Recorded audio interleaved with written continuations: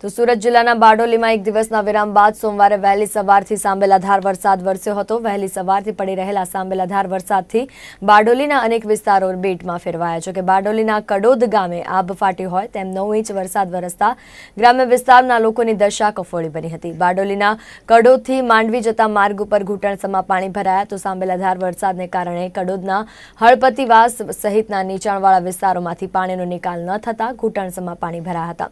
આ ઉપરાંત કડોદ અને નસુરા ગામને જોડતા માર્ગ પણ પાણી ફરી વળતા વાહન વ્યવહાર પણ પ્રભાવિત થયો. મુખ્ય માર્ગ અને બજારમાં પાણીને કારણે માંડવી અને કડોદ વચ્ચેનો વાહન વ્યવહાર પણ પ્રભાવિત થયો હતો.